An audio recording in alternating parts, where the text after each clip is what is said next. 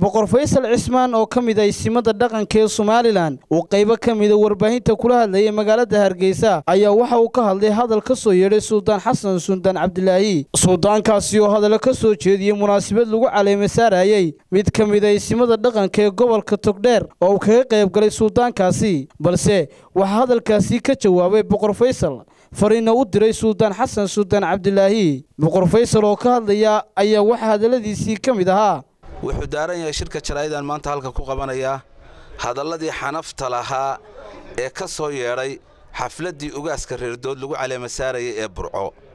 Kuwaasoo aanu guud ahaan geyiga dadka soomaaliga ku hadlo oo dhan ka tacsiyadaynayo waxaan kaloo leeyahay waxa faan mudan iyo inuu faano oo mudan inuu faano afar ninka ilaahay isugu daray. Ninka ilaahay taajka boqortooyada saaray. Ninka ilaahay talada u dhiibay oo taajka boqortooyada saaray. Ninka ilaahay taag siiyey ninka ilaahay tolka jeclaysiiyey geela markuu ooman yahay ee ceelka lagu sii wado hees buu leeyahay markuu fulo ee webaxa yahayna hees buu leeyahay. Geela markuu oomanaa ee ceelka ku sii socday jeegaanta iyo hagbadda loogu heesayey.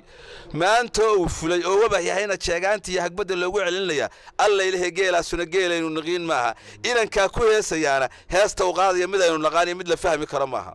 Dalkan iyo dadkan iyo diintan midnana dani uguma jirto.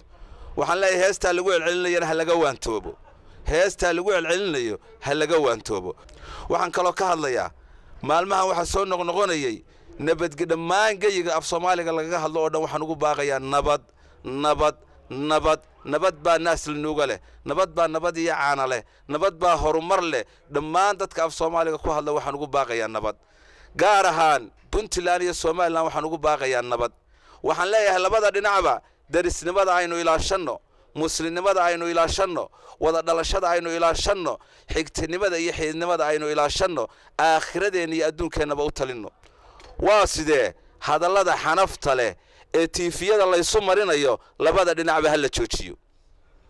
Miiska wadahadallada ha la soo fadhiisto ha la wada hadlo wada hadlaaba heshiiye wax kasta lagu dhammeeyo xal iyo wada hadal iyo nabad waarta. Waxaan kaloo leeyahay haddaynaan khayrka madax u noqon karayn haddaynaan khayrka mijo u noqon karayn sharkayaynaan madax u noqon. Aynu khayrka madax u noqonno. Oo waa maxay?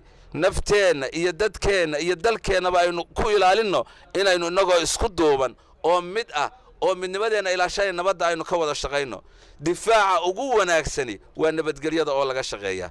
Difaaca ugu wanaagsani waa walaaltinimadoo la ilaaliyaa. Difaaca ugu wanaagsani waa darisnimadoo la ilaaliyaa. Xabadi xal maaha waxaa loo baahan yahay wada hadal in lagu dhammeeyo iyo is-afgarasho iyo wanaagga oo la ysfaro mar labaad iyo mar saddexaadba puntland waxaan leeyahay waddankiina waxaa ka jirta maamul goboleedkiina nabad baa ka jirtay qaangaadhay xagga iyagana nabad ka sii weyntiina baa ka jirta.